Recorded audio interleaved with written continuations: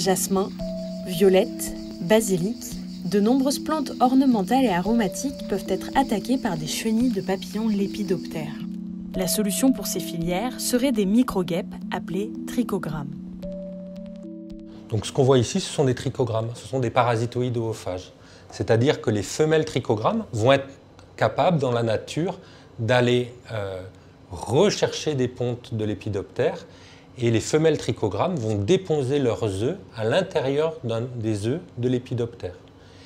Et du coup, la larve de trichogramme va se développer à l'intérieur de l'œuf de l'épidoptère en le tuant, en tuant son hôte, et en se transformant en adulte à l'intérieur de l'œuf de, l'épidoptère. Le projet BIDIM repose sur les connaissances acquises par l'équipe de Nicolas Riss concernant la biologie de ces microguèpes. Il existe en effet plus de 200 espèces de trichogrammes et toutes ne s'attaquent pas aux mêmes œufs de l'épidoptère, ne se retrouvent pas dans les mêmes cultures et ne survivent pas aux mêmes conditions climatiques.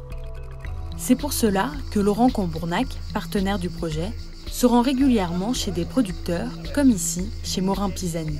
L'objectif est de répertorier les espèces de lépidoptères présentes dans la culture, afin d'adapter le mélange de trichogrammes pour les contrer, puis de tester ce mélange en station expérimentale.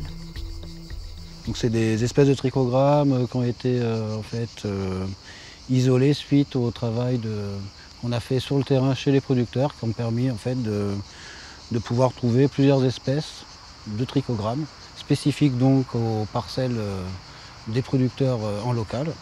Et maintenant, en fait, sur la parcelle de la station du CREAM, euh, on va procéder à des, essais d'efficacité en fait de ces, espèces de trichogrammes.